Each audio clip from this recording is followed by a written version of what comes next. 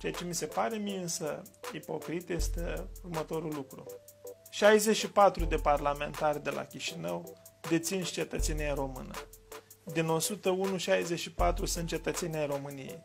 Deci mai mult de jumătate plus 1 sunt cetățenii ai României.